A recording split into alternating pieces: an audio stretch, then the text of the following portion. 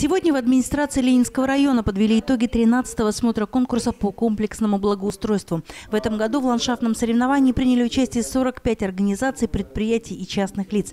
Победителей и призеров наградили в номинации благоустройства, а также в категориях «Лучший дом», «Двор», «Балкон». Наша задача попытаться увлечь людей и предприятия, чтобы это было исходило от них желание. И вот э, один из, одно из итогов этого 13-го конкурса, когда мы видим, что и руководители предприятий, учреждений, и просто жители э, частного сектора, домов, они сами хотят, пусть не так много, как, может быть, желали бы мы все, но этот процесс позитивно идет, и с каждым годом становится все больше сделать наш город краше и лучше. Примечательно, что подход к конкурсу уже давно перестал быть формальным. Предприятия организации соперничают между собой в видовом разнообразии насаждений и ландшафтном дизайне. Несколько лет подряд пальму первенства удерживает Брест-водоканал. Благодаря его усилиям улица Красногвардейская постепенно превращается в уютный оазис. Не менее привлекательный зеленый уголок, созданный коллективом Брест-проекта на Пушкинской, завоевал второе место. У нас же, видите, творческая организация, архитекторы.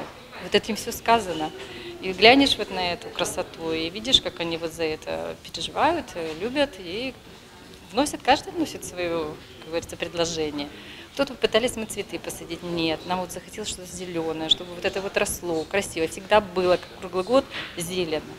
Поэтому сказать, что конкретно вот один человек, нет, это коллектив, коллектив есть. Активно в процесс озеленения и благоустройства включились учреждения образования. Денежные сертификаты получили три учебных заведения и три детских сада. Свой вклад в красивый облик не только центральных магистралей, но и улочек и дворов на окраине вносят ЖЭСы, жилищные товарищества и обычные горожане, украшая свой балкон или двор. Я просто люблю цветы, люблю, когда порядок доме, перед домом, чтобы было чисто, аккуратно, чтобы приятно было идти.